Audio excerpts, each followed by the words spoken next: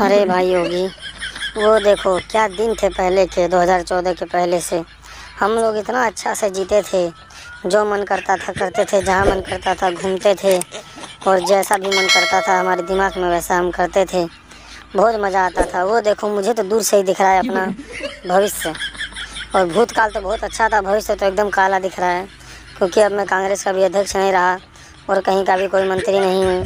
लेकिन भारत भारत यात्रा पर निकला हूँ, देखता हूँ, भारत एक होता है कि दो होता है। लेकिन यार, जब से तुम लोग आए हो ना योगी जी, तब से हम लोगों का बंटाधार हो गया है। कोई भी काम हम लोग नहीं कर पाते हैं, एकदम दिमाग ख़राब हो गया है।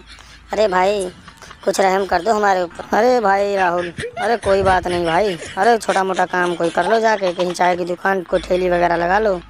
क्योंकि सत्तर साल तो तुमने कुछ किया होता तो आज तुम ऐसा दिन नहीं देखते।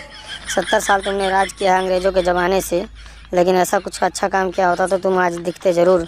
लेकिन क्या करें, जनता है, सब जानती है। चलो कोई बात नहीं, जाओ छोटा मोटा रोज़गार कर लो और अपना परिवार का पालन पोषण